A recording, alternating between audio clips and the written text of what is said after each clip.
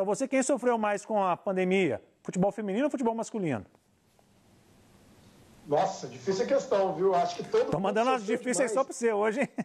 É, eu até vi uma reportagem mostrando é, que nos cinco meses aí o Cruzeiro teve um prejuízo de 250 milhões, né? Chegou até a um bilhão, uma, uma matéria do Globo Esporte mostrando né, o que todo mundo já imaginava. A pandemia é ruim para a prática esportiva de uma maneira geral. Futebol, as outras modalidades, futebol feminino, futebol masculino, os prejuízos foram enormes, foram é, muitos meses né, de paralisação.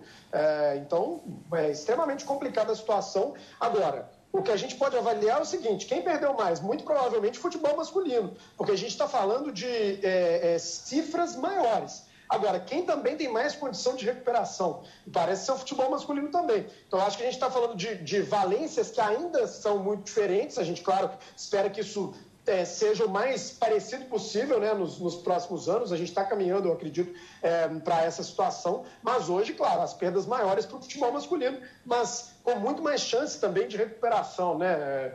sem público no estádio, com todas as dificuldades, mas são contratos mais altos, né? patrocínios, é, televisão, enfim. Futebol masculino tem mais condição de recuperação, mas o futebol feminino vem crescendo e vem sendo muito legal, André, acompanhar aí é, nos últimos anos esse crescimento aí é, e com times mineiros na Série A, e o Cruzeiro então enfrentando o Corinthians, vamos torcer aí para o Mineiro aí nesse caso, nessa partida.